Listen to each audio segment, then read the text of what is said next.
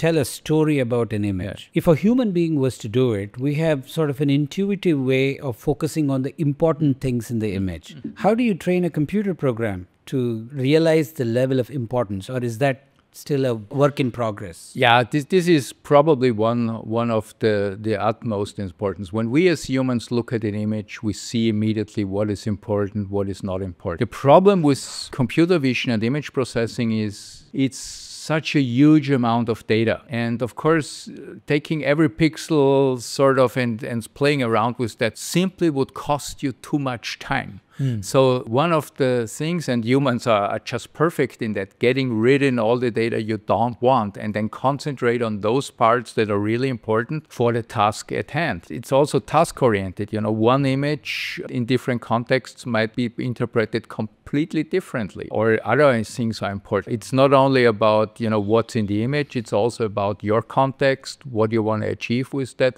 where you want to go with that.